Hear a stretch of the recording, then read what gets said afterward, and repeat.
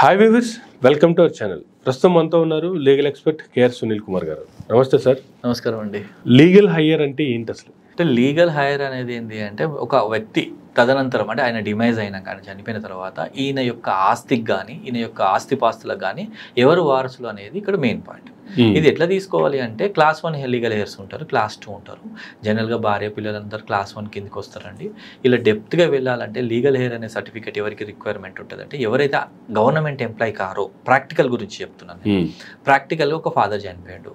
Wife అంటే mother పిల్లలు ఉన్నారు.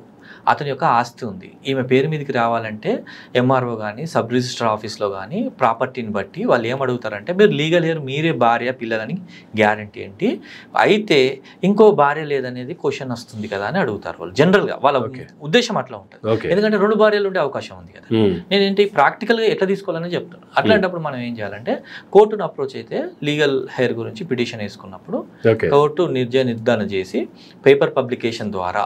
ఇంకెవరైనా దీనికి ఆబ్జెక్షన్ ఉన్నారా అనే ఒక ఒపీనియన్ తీసుకొని కోర్టు డిక్లేర్ చేస్తుంది వీళ్ళు లీగల్ హెయిర్ అని. ఓకే. అదే ఒకవేళ గవర్నమెంట్ ఆఫీసర్ అనుకోండి వాళ్ళకు సర్వీస్ బుక్ ఉంటుందండి. Based on the service book ప్రాపర్టీని మనం రిలీజ్ డీడ్ చేసుకోవడానికి అవకాశం ఓకే. ఆస్తులకు సంబంధించి ఉంటే ఇలా లీగల్ హైయర్ పిటిషన్ వేసుకుంటారు ఒక సర్టిఫికేట్ తెచ్చుకుంటారు ఓకే. కానీ బ్యాంక్ అకౌంట్స్ సంబంధించి ఎలా చేయాలి ఏం చెప్తారు? బ్యాంక్ అకౌంట్కి వచ్చేసరికి సక్షన్ సర్టిఫికేట్ అనేది తీసుకోవాల్సి ఉంటుంది అంటే సెక్షన్ త్రీ సెవెంటీ ద్వారా సక్షన్ యాక్ట్ కింద మనం వేసుకోవడం జరుగుతుంది. ఓకే. సక్సెషన్ యాక్ట్ ఏంటంటే టాంజిబుల్ ఇంటాంజిబుల్ అన్నట్టు కొన్ని అసెట్స్ ఉంటాయి మనకు. బ్యాంక్లో అమౌంట్ ఉండడము షేర్స్ ఉండడము డిబెంచర్స్ ఉండడము వాటికి మాత్రం మనం సక్సెషన్ యాక్ట్ అనే కింద ఒక పిటిషన్ వేసుకోవాల్సి వస్తుంది. దానికి సమ్ కోర్ట్ ఫీజు కట్టేది ఉంటుందండి. అది కూడా సేమ్ ప్రాసెసే. కాకపోతే అది సపరేట్గా చేసుకోవాల్సి వస్తుంది. కానీ నామినీ అనేది ఇక్కడ దీనికి సెట్ అవ్వదా? నామినీ ఉంటే పర్లేదండి. ఎప్పుడైతే నామినీ లేదో సక్సెస్ సర్టిఫికెట్ అడుగుతారు. ఓకే. కానీ ఇది ఎక్కడి వరకు? బ్యాంక్లో అకౌంట్స్ కానీ షేర్స్ కానీ పార్ట్నర్షిప్ అకౌంట్స్లలో మాత్రమే. ఎక్కడైతే ఆస్తులు ల్యాండ్ కానీ హౌసెస్ కానీ సంబంధించిన ఉన్నప్పుడు కంపల్సరీ లీగల్ ఏరియా అనేది తెలియాలి ఎందుకంటే అవి పంచాల్సి వస్తుంది కదా.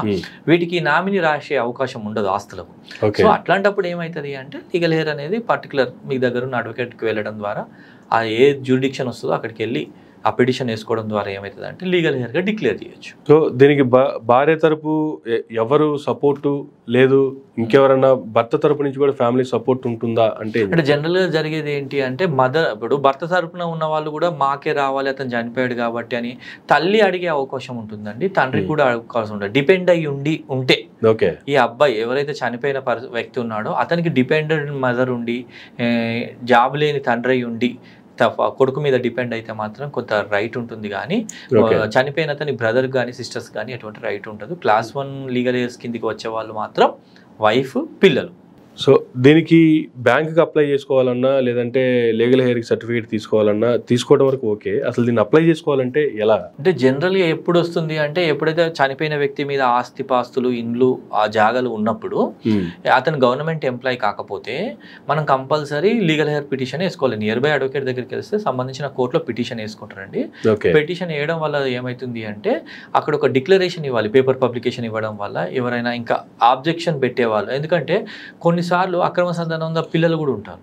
వాళ్ళకు కూడా రావాలి అండి మ్మ్. అది కోర్టు ఆలోచిస్తుంది ఇక్కడ నేను చెప్పడం లేదు ఎందుకంటే యాక్ట్ ఏం చెప్తుంది అంటే ఒకవేళ ఇల్లీగల్గా పిల్లలు పుట్టిన ఇల్లిజిటిమేట్ పిల్లలైనా కూడా మ్మ్. వాళ్ళకు రైట్ ఉంటుంది కాబట్టి వాళ్ళకి తెలియకుండా మొదటి భార్య పిల్లలు మొదటి భార్య పంచుకోకుండా అందరికీ తెలిసేటట్టు పేపర్ పబ్లికేషన్ ఇచ్చుకొని ఏమైనా అబ్జెక్షన్స్ ఉంటే వెరిఫై చేసిన తర్వాత మ్మ్. కోర్ట్ అనేది సంబంధించిన కోర్ట్ అనేది వీళ్ళు లీగల్ హెయిర్గా డిక్లేర్ చేస్తుంది ఆ కాపీని తీసుకెళ్ళి సబ్ రిజిస్టర్డ్ ఆఫీస్లో కానీ ఎంఆర్ఓ ఆఫీస్లో ఇస్తే రెస్పెక్టెడ్ ల్యాండ్స్ మీద మీకు రిలీజ్ చేయడం తదనంతరం మీ పేరు మీదకి అది కన్వర్ట్ అవుతుంది. Thank you sir thank you very much అండి.